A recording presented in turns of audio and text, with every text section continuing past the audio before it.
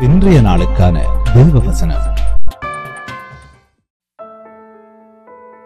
பிரியமானவனே உன் ஆத்மா வாழ்கிறது போல நீ எல்லாவற்றிலும் வாழ்ந்து சுகமாக இருக்கும்படி வேண்டுகிறேன்